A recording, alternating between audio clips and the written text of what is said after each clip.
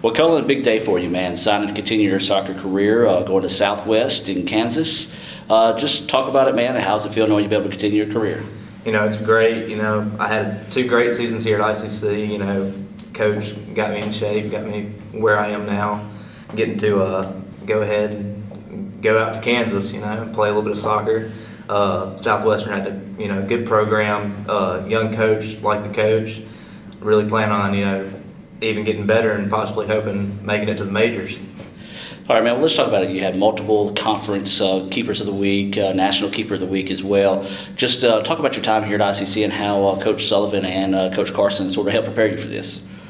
Well, first of all, you know, Coach, Coach Sullivan and Coach Carson, you know, they really they really keep the, the team factor. You know, everyone we all work together. We all we all made each other better, and I think that's that was the key role. The fact that everyone got better when we were here. Coach, big day for your program. Cullen signing with uh, Southwest College in Kansas. Talk about Cullen and what he's meant to your program over the years. Yeah, really excited to see one of our guys move on to the next level. You know, we hope next year there's going to be a bunch more. We hope this is the first of many to come. Um, Cullen has uh, been great for us over the last two years. One of the best keepers we've ever had here.